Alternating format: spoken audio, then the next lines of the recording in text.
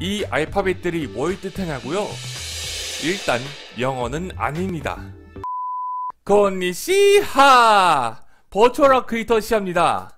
채널 시야에서는 그동안 일본의 다양한 인터넷 용어나 신조어들을 소개해왔는데요. 아직도 알려드릴 게 남아있습니다. 방금 전에 보신 영어 약자들도 사실은 인터넷을 중심으로 많이 쓰고 있는 일본의 요즘 세대 언어. 엄밀히 말하면 밀레니얼 은어겠죠.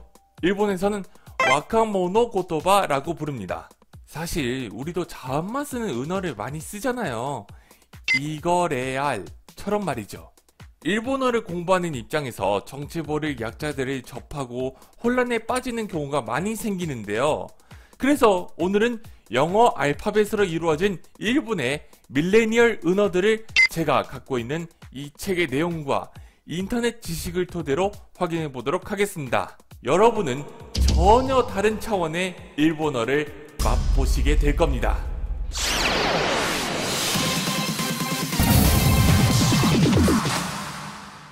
가장 쉬운 것부터 먼저 확인해 보죠. 종종 JK라는 말을 들어보셨을 겁니다. JK 조시코세 여고생을 뜻합니다. 그리고 이 JK에서 파생된 단어들도 여러 가지 있습니다. JS 조시 초학생 JC 조시 중학생 JD 조시 대생 그러면 혹시 이거는 보셨나요?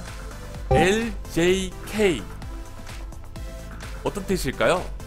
L은 last입니다. 마지막이란 뜻이죠. last 요시코세 마지막 여고생. 그러니까 고3을 맞이하는 여고생 졸업반을 뜻한다고 합니다. 여고생이 있으면 남고생도 있겠죠? BK 난시코세. 그리고 여기서도 또 파생이 됩니다. DS 난시 쇼각세. DC 난시 중각세. DD 난시 나이각세. 이어서 꽤나 간단한 의미를 가진 은어들입니다. KWSK 그와 시그. 자세히 라는 뜻입니다. 이 내용에 대해서 자세히 알려달라고 부탁을 할 때 KWSK라고 쓰는 경우입니다. KP 감바이. 건배라는 뜻이죠. 그리고 MJK 마지카 마지카 이거 레알? 이런 식으로 쓸 수 있죠. 이번에는 좀 해설이 필요한 은어를 살펴볼게요. KTKR 요거는 키타코레 키타코레 뭔가가 나타나거나 일이 발생하면서 느끼는 기쁨이나 놀라움을 표현하는 말입니다. DB 풀어서 쓰면 놈비기 입니다. 누군가의 말이나 행동에 의해 분위기가 갑자기 깨지거나 썰렁해지는 것 또는 그 상태를 의미합니다. 우리의 갑분싸에 해당이 됩니다.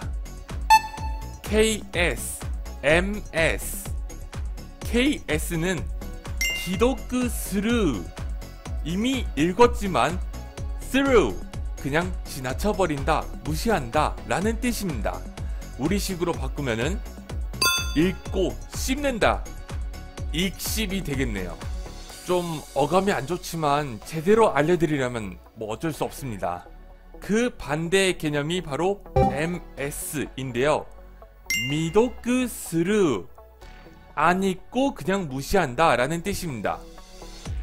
안 읽고 씹는다. 안 읽씹에 해당이 되겠네요. WKTK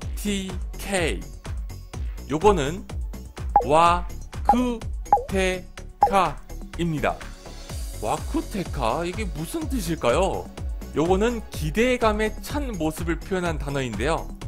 와쿠와쿠 심장이 벌렁벌렁하다 못해 데까데까 살이 번지르르해질 정도로 기대하고 있다 라는 뜻입니다. DQN 요거는 노균이라고 있습니다. 비상식적인 행동이나 주위에 민폐를 끼치는 사람을 가리키는 비속어입니다. 우리로 치면은 빌런에 해당이 되겠네요. 그럼 이 은어들이 왜 생긴 걸까요? 바로 일본어를 로마자로 입력하는 방식에서 비롯됐기 때문이죠. 보통 일본어는 로마자 입력 방식과 가나 입력 방식이 있는데 대부분 로마자 입력을 많이 사용합니다. 로마자로 일일이 입력하는 게 귀찮고 답답했던 나머지 아예 알파벳 자음으로만 소통하는 형식을 만들게 됩니다. 우리도 자음만 치고 소통을 하잖아요. 똑같은 거예요. 오늘은 알파벳으로 만들어진 일본의 밀레니얼 은어에 대해서 알아봤습니다.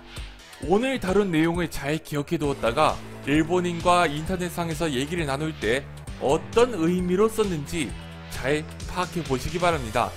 뭐 되도록이면은 올바른 일본어 표현을 쓰는 것이 더 중요하겠죠. 다음 시간에도 새로운 어학 지식을 가지고 돌아올게요. 오늘은 여기까지. 때와 마타! 끝까지 봐주셔서 감사합니다. 구독과 좋아요는 잊지 말고 꼭 누르고 가세요.